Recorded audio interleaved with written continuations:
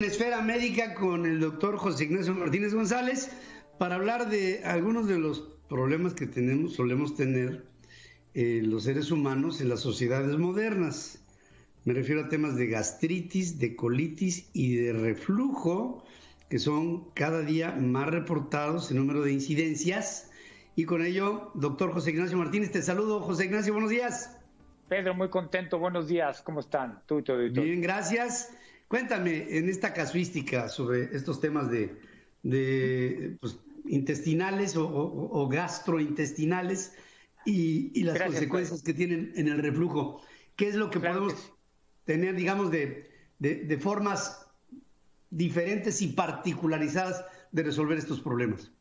Por ejemplo, yo el viernes pasado, bueno, el jueves pasado comí una ensalada, yo te digo, pedí una ensalada aquí al consultorio, me la trajeron pero me cayó tan mal que me empecé a sentir raro.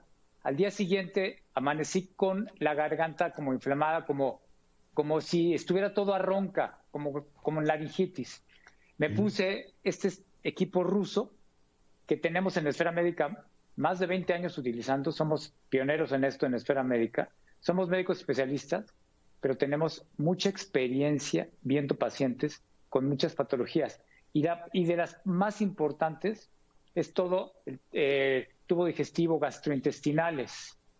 Porque, bueno, el, el COVID es obviamente lo más importante del día de hoy, pero es pero una patogenia, un problema digestivo puede generar también urgencias, que no queremos que llegue a eso, queremos que estén bien controladas, pero que haya precisión en el diagnóstico. Y nosotros nos ocupamos de esos diagnósticos gracias a estos equipos rusos que nos dan mucha información. Si yo te digo qué me pasó a mí, yo amanezco el viernes con toda la garganta como irritada, dije, ya me, ya me dio alguna laringitis, ya me, me siento mal de acá. Me hago mi estudio ruso y me sale una salmonela en el duodeno.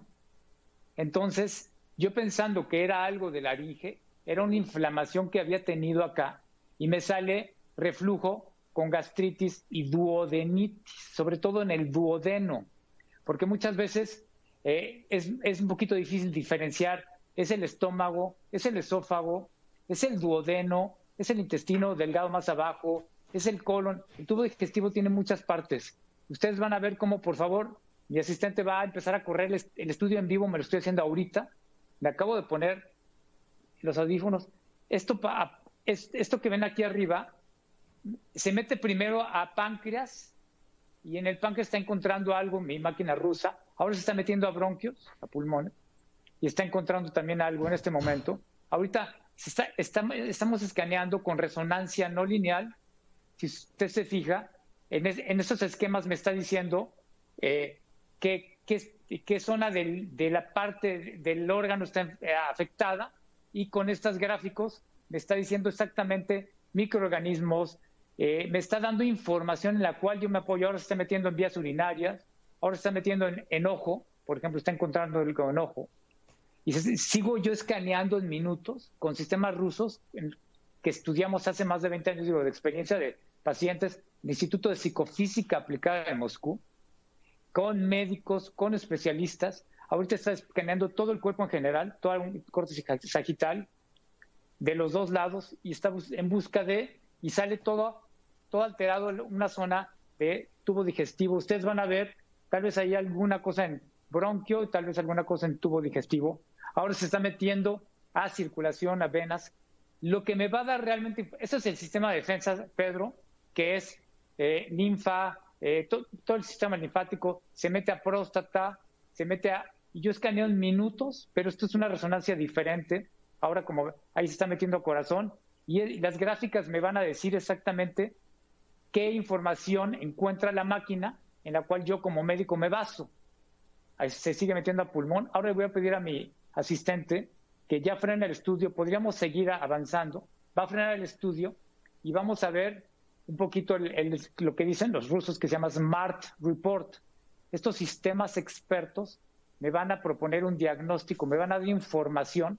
Ahora la máquina está haciendo cálculos no lineales, que son matemáticas muy complejas, esto es una resonancia en tiempo real con este aparato que genera eh, ondas en gigahertz y generan gráficos que me dan información en base a matemáticas no lineales. Por eso se llama instituto, se llama resonancia no lineal del Instituto de Psicofísica Aplicada en Moscú. Bueno, nosotros vemos a nuestros pacientes en minutos, colocamos este resonador, que es la misma tecnología de, de aviones militares rusos, eso es tipo radares rusos que generan ondas electromagnéticas y entonces buscan microorganismos con una precisión que uno nunca pudo haber imaginado. En este momento está haciendo la máquina rusa lo que se llama Smart Report, es como ir con sistemas expertos como los todos los expertos rusos, los mejores inmunólogos, mejores bacteriólogos, está encontrando tal vez algo en próstata, tal vez algún hongo, alguna candidiasis que tal vez pueda tener, hay una probabilidad que haya. Luego está encontrando en mi ojo, en el ojo derecho, la formación posible de una catarata que mi familia tuvo, entonces tengo que vigilar eso con el oftalmólogo.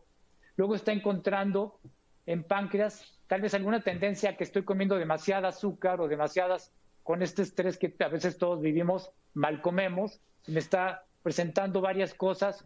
En bronquio me está presentando que puedo tener algo en, pulmones, me está presentando, por ejemplo, en próstata, algún tipo de prostatitis, ya a mis 54, el chorro de orina. Yo, yo voy con mi urólogo, me hace mi antígeno prostático y ah, está perfecto, dentro de todo rango normal no encuentra nada, pero mi sistema ruso me dice, puede haber alguna tendencia a prostatitis infecciosa que no se ha detectado, podría.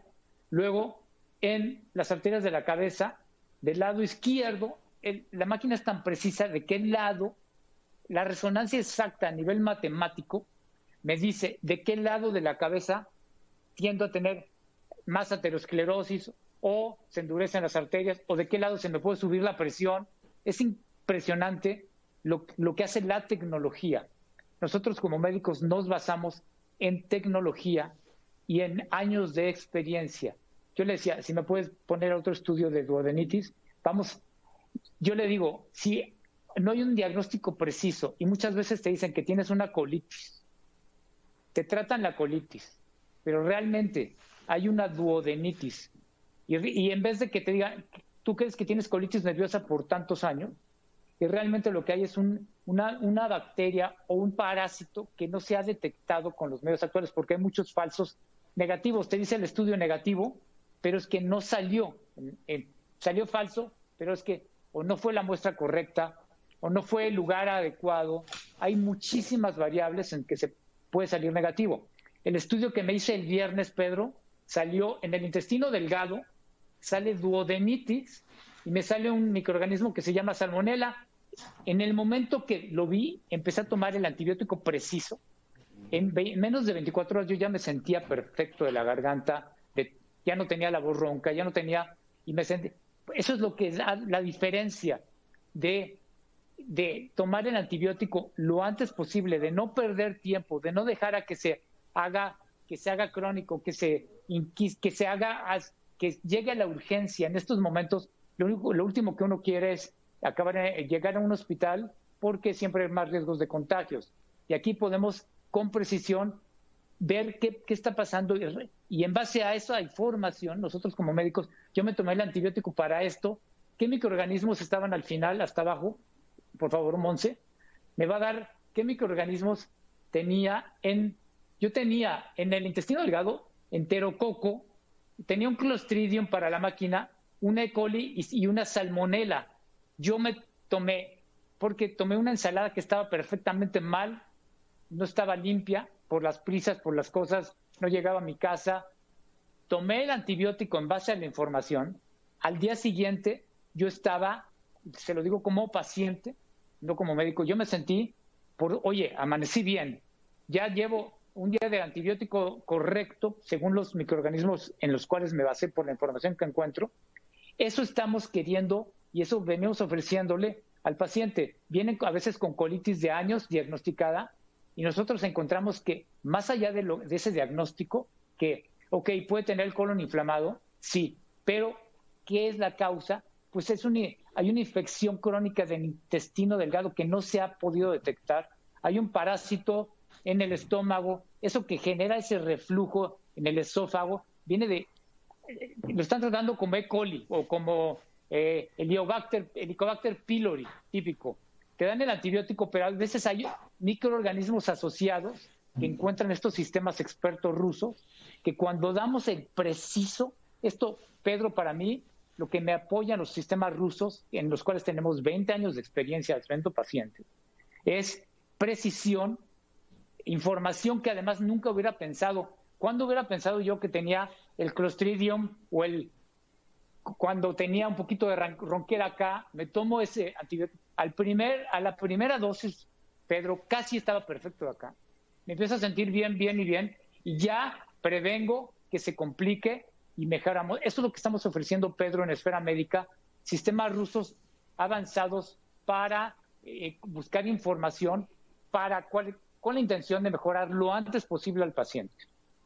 Pues eso es algo que es para nosotros novedoso y por eso lo estamos presentando aquí en Central FM Equilibrio. Y ahí está, como siempre, en eh, Esfera Médica, en estos teléfonos que están aquí presentándose en nuestra vía eh, de televisión, en el 55 53 35 00 30.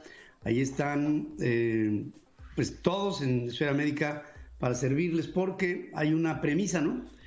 que no hay enfermedades, hay enfermos. Y cada quien tiene que... Imagínense la cantidad de, indicadores que me está mostrando el doctor y pues, pues, cada, cada persona tiene variables diferentes y por lo mismo esto tiene que ser tratado en particularidad.